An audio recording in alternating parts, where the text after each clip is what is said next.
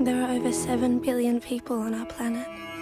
That's 7 billion of us, all looking at the world in our own way. And no one sees it like you. What do you see? Is it adventure? Danger? Is it passion? Or tradition? Beauty? A new beginning? Or ending? Celebration?